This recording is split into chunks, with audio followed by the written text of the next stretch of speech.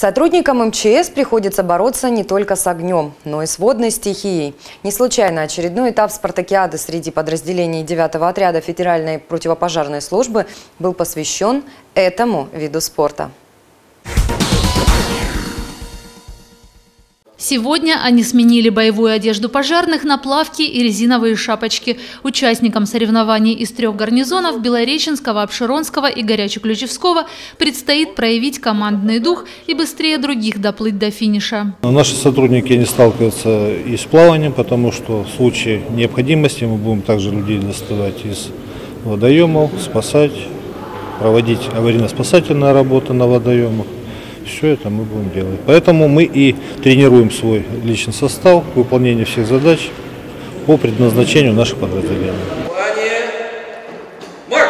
В команде по 4 человека, среди них одна девушка. Каждому пловцу необходимо преодолеть 25 метров и передать эстафету своему сослуживцу. В итоге непродолжительной, но честной борьбы именно белореченцы первыми достигли финиша. Вторыми стали обширонцы и третьими – пожарные из горячего ключа. Ну, выиграли. Все замечательно. Когда плаваешь, полностью все мышцы работают. То есть это очень может пригодиться на работе. Следующие соревнования в зачет спартакиады трудящихся пройдут через две недели. Пожарных ждут состязания по легкой атлетике. Наталья Пирс, Новости спорта.